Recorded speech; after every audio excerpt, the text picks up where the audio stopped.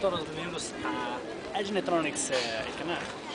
Aquí estamos en la vista de atrás del Parque Güell, el Parque Natural. Ahí está.